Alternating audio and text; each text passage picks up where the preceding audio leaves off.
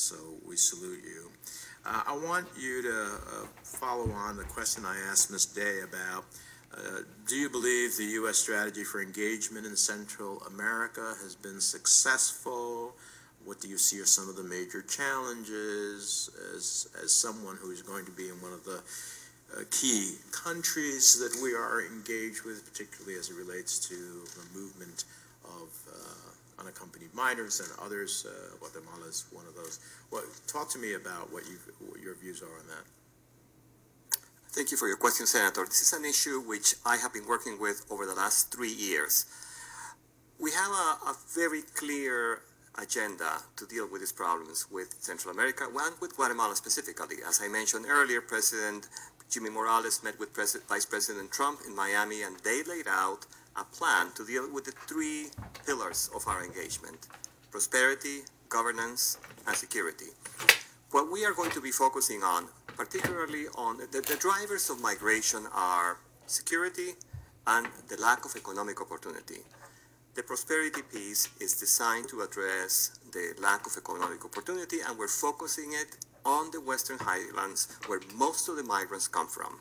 The security piece is absolutely essential because it is, it is a driver of, of, of migration, and we have, I think, made significant progress in reducing crime rates, particularly in the areas where U.S. assistance has been provided, which is in, in, in, training the police, in establishing community policing, and in working with the with the NGO community, particularly in the most in the most uh, in the areas we have the highest crime. And underlying all of this is, of course, our efforts to support the President Morales' uh, efforts to fight corruption. CICIG is a pillar of that. This is an institution that we have been supporting for years.